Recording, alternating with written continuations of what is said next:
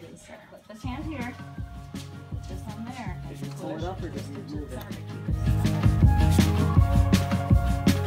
Taking your sponge and squeezing water on your clay to get it shiny. Yeah. Lean forward. Squeeze and travel up down on that tray the whole time. That's our secret. Easy steps. Two fingers. Make done. I made eight pottery. I, You can I do a- really like the class.